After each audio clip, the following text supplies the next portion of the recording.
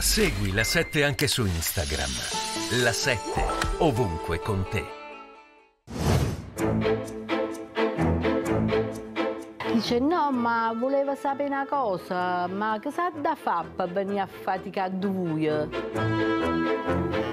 Questo è il tenore delle telefonate ricevute da Donna Luisella, titolare di un noto ristorante sul lungomare di Napoli, a seguito della pubblicazione di un annuncio di lavoro. Chiedevo personale che sappia solo, ovviamente parlare italiano, che sappia un po' la lingua inglese e che abbia un po' di conoscenza di vini e che sappia spinare il pesce. Al che lui di là mi ha risposto, "Eh, ma quante cose sanno a venire a far fatica voi? Al che io ho preso il telefono e ho riagganciato.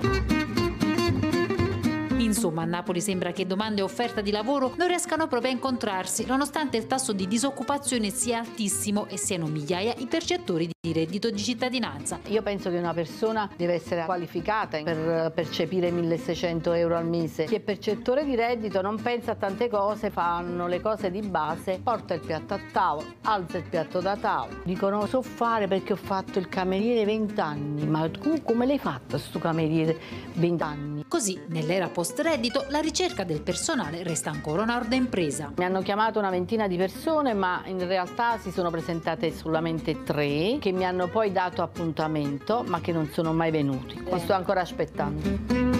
Ultima spiaggia, i lavoratori stranieri. Li ho formati, hanno acquisito subito tutto ciò che c'era da imparare in questo mondo. Avendo la volontà di imparare, si può sempre fare.